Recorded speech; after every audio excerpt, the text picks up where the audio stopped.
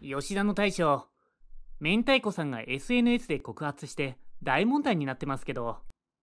そうですね。報道関係者や YouTuber が連日取材に来て困ってるんですよ。は？あ店内で写真撮影を250枚も？それが迷惑だってことに気づかなかったんですか？は、はあ、それで、店側から一人で謝罪に来いって言われちゃってて、これこれさん、謝罪に同行してください。整形して外見を変えるよりは、内面を変えた方がいいと思います。ふう、なんとか再就職できてよかった。また稼いで整形しよう。えっと、明太子さん？ちょっと、その名前ここじゃ使わないで。ちゃんとした源氏名があるんでしょ？し、失礼しました。吉田さん。この人、どんな神経してるんだよ？今回は大炎上した元ラウンジ嬢の明太子さんと寿司屋吉田さんの騒動後についてお伝えします。まず騒動の発端についてお伝えすると同年1月20日明太子さんが SNS にて次のような内容を投稿したことがきっかけです。南麻布寿司吉田の大将に殴られかけたので共有します。実は先日こんなことがあって。その明太子さんの投稿によると同伴で男性と一緒に来店したようです。あの前にある白ワインどけてもらえますか？え？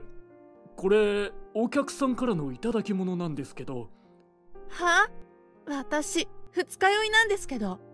それなのにワインなんか置いちゃって信じられない。いやそんなこと言われてもそもそもそれならそうと早めにおっしゃっていただけたらよかったのに。なんですって？それくらい察しなさいよ。させない男はモテないんだからねさすがに無理ですって。あおいもう帰ろう。そうね。こんな最低な店初めて。なそして次のような形で殴りかかってきた。と告発しました。ただ明太子さんの証言は明らかにおかしくその結果大炎上へとつながっていくことになりました。言ってることおかしすぎじゃね？カウンターがあるしダルシムやピッコロじゃねえ限り位置的に殴ることなんてできねえはず明太子と大将が何か口論したのは確かだと思うけどそれで一方的に殴りかかってきたって投稿するのはどうかと思う。そもそもさマジで殴りかかってきてんならスマホを構える余裕もねえと思うんだよな。これが証拠みてえな感じで画像を添付してっけど信憑性は一切ねえから。この炎上騒動に焦ったためか明太子さんは SNS でネットの声に対して反撃を始めましたこの地牛ども組が私を攻撃するな。あと誹謗中傷や DM の改ざんやめろ。私文書偽造で訴えるからな。ただ反撃すればするほど自身の学のなさを露呈することになりその結果ネットのおもちゃになり下がってしまいました。私文書偽造？もうちょっとネットで調べろよ。あでも私文書偽造じゃなくて私文書偽造と間違えてんのか？学のないやつが無理に法律用語を使って自爆する。哀れだねこりゃ。ネットのおもちゃ確定案件だな。この事態を受け両者の言い分を聞こうと動いたのが YouTuber のこれこれさんです。大将いろいろ大変そうですね。はい。いろんなところから取材依頼が来てなかなか本業に集中できません差し支えなければ当時の状況を教えてもらっていいですか？はい。あの時。大将によると明太子さんと同伴していた男性に起こったことは事実ですが迷惑行為を注意しても一向にやめなかったからのようです。ほらほら。やっぱ君かわいいね。でしょ？もっと撮って。ちょっと。動画撮影やめてもらっていいですか？他のお客さんに迷惑ですから。なんでよ。別にいいじゃん私は可愛いから何やっても許されるの。他の客？私のような港区女子が嫌いなだけでしょ？港区女子とかはよくわからないけどあなたはどうかと思う？とにかくもうやめてください。嫌です。はは？ああんたらいい加減にしろよ。だ大将落ち着いて。うわ怖え 写真撮って拡散しちゃおう。にゃにゃ。あなるほど。そりゃ迷惑。うんこれこれさん？大将お寿司めちゃくちゃ美味しいですね。アオリイカとキャビアの握りなんか最高です。どどうも。お寿司の美味しさも含めて今日のことは SNS に投稿させてもらいますね。ありがとうございますこの内容が投稿された結果明太子さんは激高しこれこれさんを一時ブロックしています。何よこのデブ。法的措置も検討するから覚悟しなさい。ただ批判の声があまりに多すぎて焦ったのか明太子さんは後日これこれさんのライブ配信で通話し騒動について釈明しました。迷惑行為とかは一切してません。私がしたことはワイングラスをどかすようにお願いしただけです。はあ。それだけで大将は怒りますかね？てか撮影の件はどうなんですか？ええっとあ動画は撮影していませんから。以前の投稿で動画を撮影したとかなんとかほざいていましたけど。まあそれはいいです。ちなみに何枚くらい写真を撮影されたんですか？私というよりは同伴した男の人がですけど。多分250枚くらい？は？あでも聞いてくださいよ。吉田の大将から一人で謝罪に来いって言われてるんです。ひどくないですか？どこが？私本当に怖くて。だから誰か YouTuber と一緒に動画を回しながら謝罪しに行こうかと思ってます。アホなんですか？もしよかったらこれこれさんついてきてくれません？このような態度が火に油を注いでしまったということはもはや言うまでもありません絶対に嫌です。あまりに反感買いすぎててリスナーの方から色々言われてしまってるので真偽の判断ができません。ただその数日後明太子さんは大将の言いつけ通り吉田に一人で来店し謝罪したようです。いろいろとご迷惑をおかけして申し訳ございませんでした。まあこっちも悪かったです。感情的になりすぎました。騒動についての投稿は削除しますし今後はそれについて一切触れません。なぜこのような態度に変わったのか。それは炎上騒動で明太子さんの生活が一変したからのようです。まず明太子さんと一緒に吉田に行った男性ですが騒動を恐れて明太子さんから一方的に離れたようです。君とはもう関わりたくない。え？君の周りが色々特定されちゃってるし俺にまで火の粉が飛んできそうだよ。SNS を投稿したのは君なんだから責任は一人で負ってくれよ。ででも撮影したのはあなたじゃない。それは君が望んだからだろ俺はそれに応えただけだから。それじゃ金輪際連絡を取らないでくれよ。つ冷たすぎる。また多くの友人も離れてしまったようです。悪いけどもう絶好ね。ななんで？まあ人間的な醜さを感じたからかな。ぶっちゃけあんたと友人だと思われたくないのよ。そんな言い方。うるさい。このノーション野郎。えひどすぎる。さらに勤務していたラウンジも解雇されてしまいました。冗冗談ですよね。え？普通に本気だが。嘘このまま放っておいたら特定が始まってラウンジの評判に傷がつきかねん。SNS でも謝罪するどころかもはや開き直ってるじゃないか。だって私は悪くありませんから。ああ一生被害者ずらして悲劇のヒロインでも気取ってろ。とにかく俺はもう関わり合いたくないからここには来ないでくれ。何なのよみんなして。このように仕事や人間関係を失ってしまった明太子さんはさすがに事態のヤバさに気づいたらしくようやく自分の非を認めるようになり謝罪に至ったようです。このままじゃ整形できないし老いていくだけとにかく何とかしないと。謝罪後の明太子さんですがどうやら就活をしていたようで2024年3月の時点でジャングル東京というキャバクラで勤務するようになったみたいです。あれ？あなたって確か吉田の件で炎上した？はい。あの有名な明太子です。自分で有名って言うかね普通まあ話題性はありそうだけど。うちはインフルエンサーとしての能力も要求するよ。その辺は大丈夫？大丈夫です。ご要望があればまた炎上しようと思います。一応言っとくけど店の評判を落としかねない行為は解雇検討案件だからな。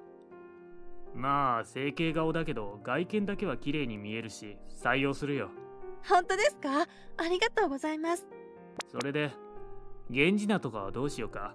明太子はちょっとピンのお笑い芸人みたいな感じになっちゃうからさ。そうですね。吉田美代っていかがでしょう？は？いやいや吉田って。我ながらナイスアイデアだと思います。あの吉田の件でかなり知名度が上がりましたし源氏名を見ればあの有名な明太子だってわかりますよね。君のいちいち尺に触る。自分上げは一体何なんだ？整形の結果いろんな意味で面の皮が厚くなってるのかもしれないけど。まあでも仕事柄ある程度のメンタルの強さは必要だしな。まあこれからよろしく頼むよ。そして同月明太子さんは再び吉田を訪れたようです。うん美味しい。そうですか。ありがとうございます。あそうだ大将。前の謝罪から1ヶ月くらい経ってますし謝罪したことについて SNS で投稿してもいいでしょうか？まあ余計なことを言わなければ。でも気をつけてくださいよ。大丈夫ですよ。不適切な投稿は自分の身を滅ぼすだけだっていうことは身に染みて分かってますから。ははあ。別にあんたの心配してるんじゃなくこちらに迷惑かけてくるなって意味なんだが。まあいいかそして一連のことを SNS に投稿し騒動は終結を迎えることとなりました。今は違う店舗で働き始めましたしこれからも応援よろしくお願いいたします。ああと誹謗中傷してきたことは一生忘れません。裏では弁護士と相談しながら名誉毀損等にあたるような投稿に対して手続きを進めています。ちなみに誹謗中傷関連の訴えはどうなっているのか現在でもはっきりしません。その後の明太子さんと吉田の関係ですが明太子さんは同店に何度も足を運ぶなどもはや常連と化しているらしく今では大将とも仲良しみたいです。私という素晴らしい常連をゲットできたんだからあの騒動は大将と私両方ともウィンウィンでしたよね。ああまあそうですね。普通に食事していただく分には問題ありませんし。そして明太子さんは現在でもジャングル東京で勤務し続けているみたいです。君めちゃくちゃ可愛いね。本当ですか？ありがとうございます。ふうやっと人生が動き出したかな。ここから巻き返しを。あ明太子さん。吉田だから。そして5月には有吉弘行さんが MC を務めるテレビ番組に出演したこともあります。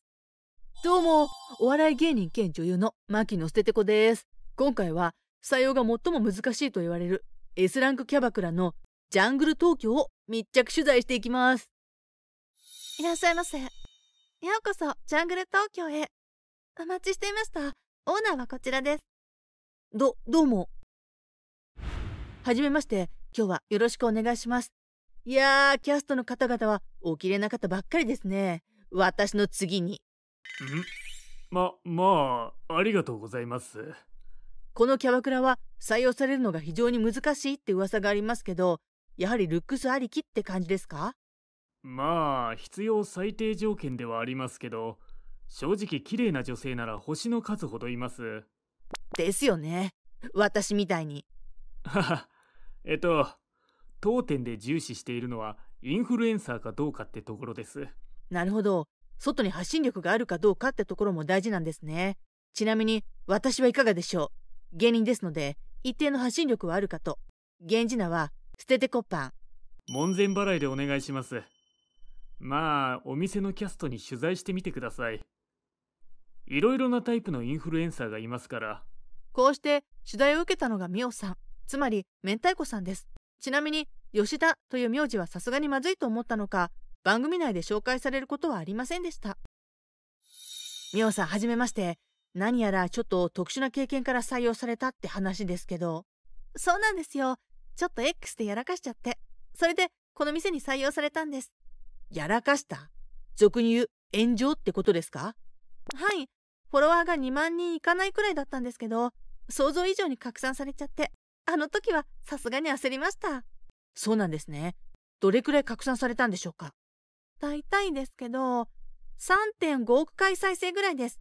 そ、そんなに？えっと、確か X って再生数によって収益が出ますけど、結構稼げたんじゃないですか？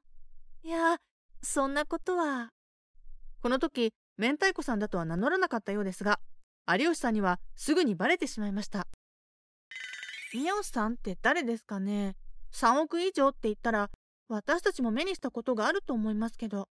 多分だけど、寿司屋の件で大炎上したやつじゃね？ああ、あいつか。一時期 X があいつに占領されてましたよね。鬱陶しいこと極まりなかったし。確かに。あの時は嫌でも目にしたよな。